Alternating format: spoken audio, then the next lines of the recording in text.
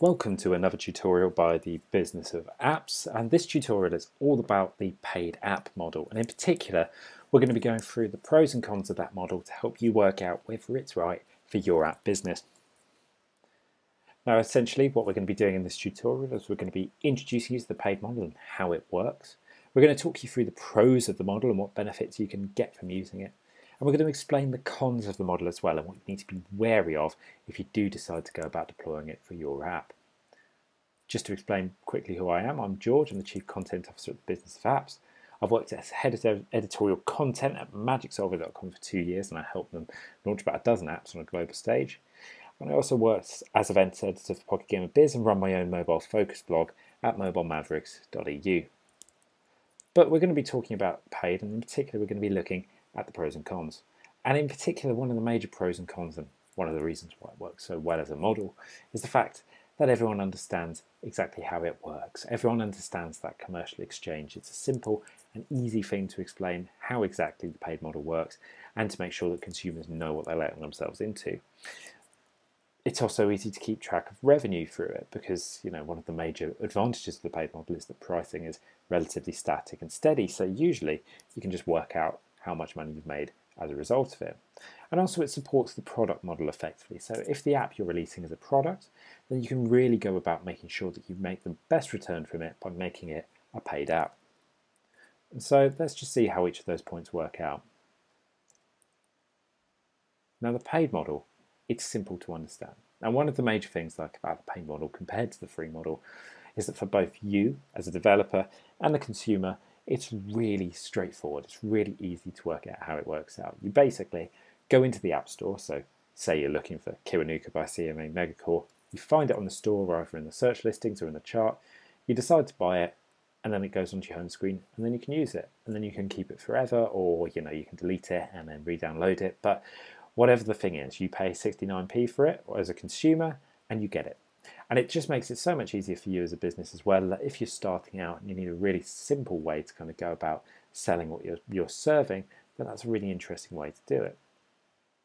But beyond that, it's also simple to understand from the developer's point of view. So because your price tag is relatively fixed, as previously mentioned, it means that you can pretty quickly and easily work out how much money you need to either make to keep yourself afloat, how much you need to make to make a profit, or just simply just how much you're making at a particular time. So if you're wanting to keep track of your revenue, it's all about making sure you can do that. For example, Hitman Go. That was a game that was released, recently released by Square Enix, and I think it really shows, maybe in this example, about how easy that paid model is. So, for example, on that first day of launch, after Hitman Go came out, developer achieved 10,000 installs for their app. And so because it costs $4.99, you can pretty quickly work out the revenue amount for it. So at $4.99, you've got 10,000 installs, so it's pretty simple, $49,900.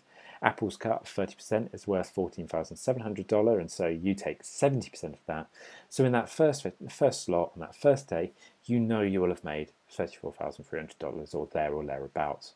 And it's one of those things about basically that that's about how easy it is really. I mean it's just one of the major advantages of the paid model is that it's a simple investment. People will say it might be a risk because it may put people off from actually going and downloading your app. But on the other hand if someone buys it you get the money. You don't have to worry about monetizing them afterwards. You just make what you want and you charge for it. And if people pay for it then you make more money from it. And if they don't well you know that's the problem you've got to worry about later.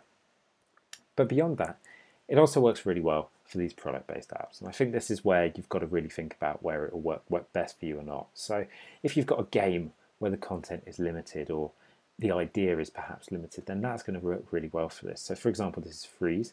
I know that its more successful cousin 2048 has come out recently and showed that a free model could have worked with this game.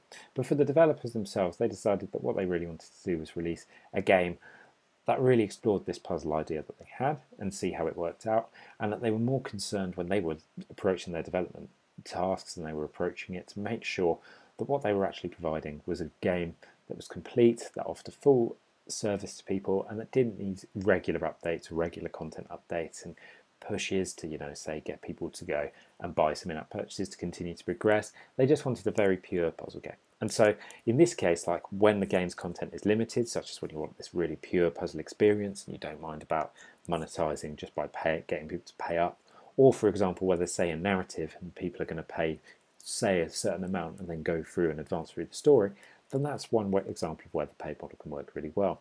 It can also work very well for these bespoke high quality utilities. So as you can see, I'm a terrible drawer, um, but that's my kind of sci-fi robot that I drew in the app Notability. And essentially it offers a really complete and comprehensive feature set and it offers a really premium experience. And so by doing that, it means that it can actually justify charging up front for it and saying, look, we're not going to make it free and hope that you pay for extra tools. We're going to charge for it. And because it has a very clear purpose and it really fills in that kind of hand note taking sort of element that you could have maybe within your iPad or your iPhone for someone who needs to take notes on the go, it can justify charging for that. And then lastly, there's just apps that are based on products in the real world. They're a good example of something that can really work well. So, for example, this is a screenshot from the official driving theory test, which is basically a product that's available in the UK market, in which you can basically take a variety of practice tests and other things to see how prepared you are for your driving theory test, which is part of the British driving license test. And so you can take practices, you can see uh, how well you've done, you can basically give it a shot, and just it's one of those things that it's available as a DVD, it's available as a CD, it's the kind of thing that you can get elsewhere. And so what they've decided is that actually with the mobile reality, they can realistically make sure that people are actually just buying this as a separate piece of content in the same way that they may buy a book or a DVD or a CD to study with.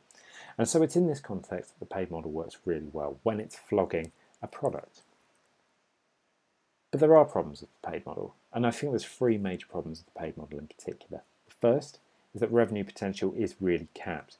With the fact that the paid market is considerably smaller than the free market, as we've seen previously in our history of app pricing video, it's the case that you're never going to make that much money with a, with a paid app. Of course, you can make good money or decent money for basically the context that you're in, but you're never going to make the mega bucks. You're never going to be the person who's making that next billion dollar app.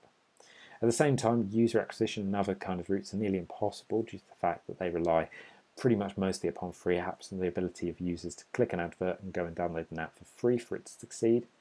And just more than that, you also have to be really reliant on old school marketing. You know, you've got to deal with the challenges of basically going and marketing your app traditionally. And so instead of being able to hotwire things by coming up with a sensible or a clever user acquisition strategy, you've just got to basically rely a bit more on the old fates of things, such as making sure you get advertising on the web, getting media coverage, and just getting enough traction. So just to explain how that works, you know, revenue generation is low. So Year Walk by Simogo, it's a paid app, it was priced at $3.99, and according to Games Industry Biz in 2013, it made somewhere in the equivalent of $476,000. Now that's not to be sniffed at. The team who make Year Walk, Simogo, it's a small two to three man team with a couple of contractors, and so with this app, plus their other app that they released that year, Device 6, generating somewhere in the region of 900,000 to a million dollars in revenue, it's a perfectly good performance for a small team. But you compare that with Candy Crush Saga by King, you know, with free within app purchases. According to Think Gaming, which is a site that basically estimates how much money these games make every day, particularly these free to play games, they estimated that the game is making in the region of about $956,840 per day.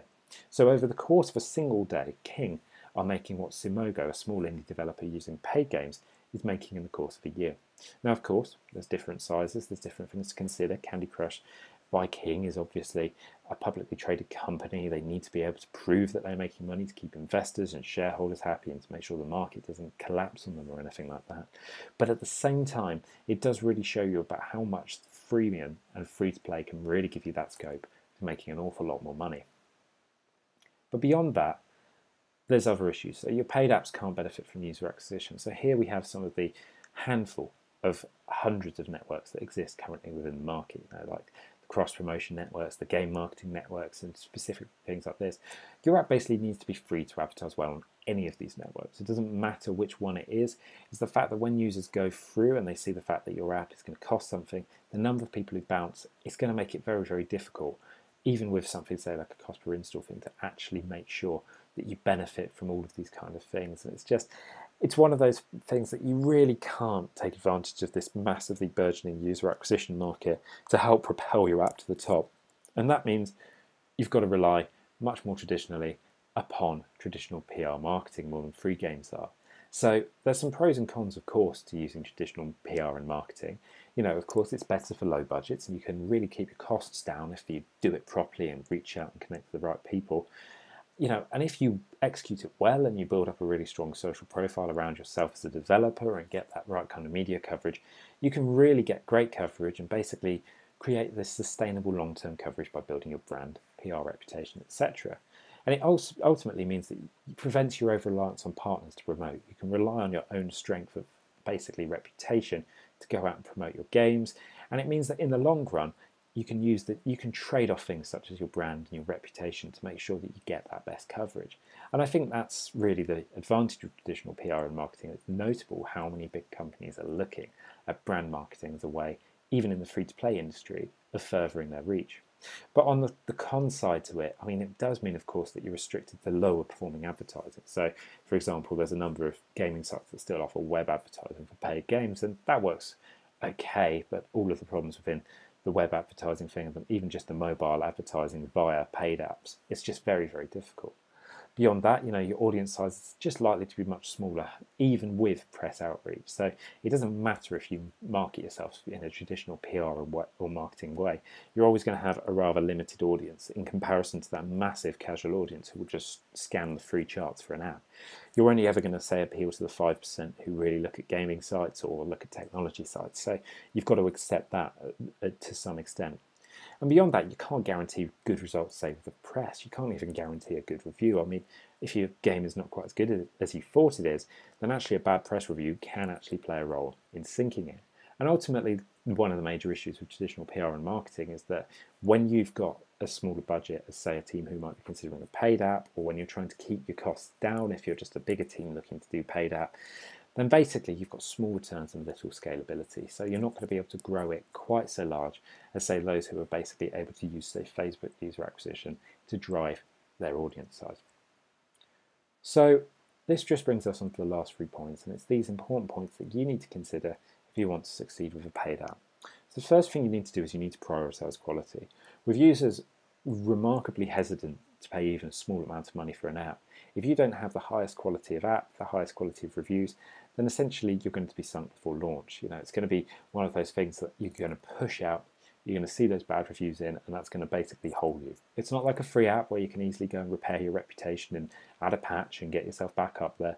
A paid app, when you launch, it's your time to make money. If you don't get a good launch and don't get it great, then it can go really wrong. Beyond that, you need to be thinking about tight turnarounds and tight budgets. So, because the amount of money that you're going to make is going to be capped, so you know, look at Simogo, they're going to end up making say a million dollars over the course of a year.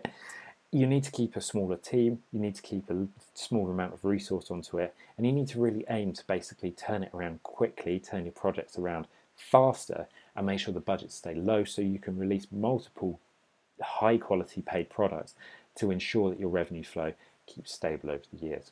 And beyond that, you just need to boost your traditional PR and marketing skills. You need to make sure that you're either willing to go and spend on an expert to make sure that you get the coverage that you need, or that you basically go yourself and go and really try hard to get that lift up yourself and teach the skills that you need to go and reach out to these people and market yourself in a more traditional way. Because if you don't, then you're never going to really be able to succeed with that paid app.